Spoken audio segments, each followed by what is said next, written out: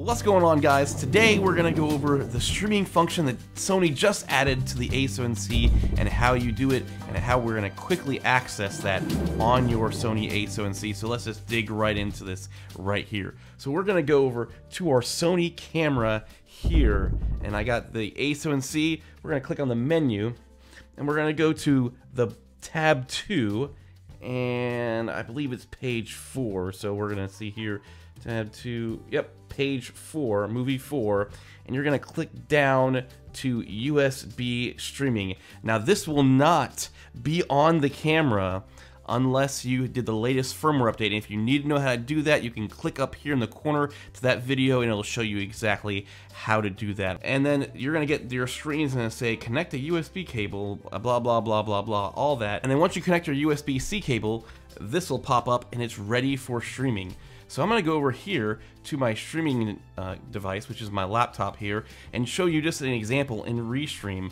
And see, now it shows up with the A7C right here. You click on it, and boom, it's to show what you see. But it's there's a light like right behind it, so it's it's in the way. Now the cool thing about this feature is that when you do this, you can also select the audio from your camera so that you can go down the audio input and see A7C shows up right there. Now the the cool thing about this is like last week I used a, I did a stream and you can use the K3M on top of your A7C use a nice XLR microphone like this Rode Procaster here or any XLR mic and go straight into the camera and not and go all out audio and video straight through a USB-C cable and you need nothing else. You're not going to need a streaming card, you're not going to need a audio interface that goes in your computer, your camera does all the heavy lifting, which is super, super convenient. How do you access this quickly? We're gonna, I'm gonna show you how to access this to your My menu,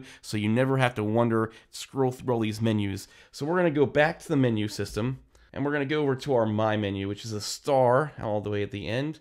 And you can see I have some things added. I'm gonna add an item, and boom, it's, well, if you're, it's probably gonna pop up here. You gotta scroll over to movie four, and then just scroll down to USB streaming and you select where you want it to be added. I'll just go ahead and add it after my steady shot there on the bottom of my list. And there we go. We're going to go back to the My menu and look, USB streaming is right there. So now I never have to scroll through the menus and dig through it.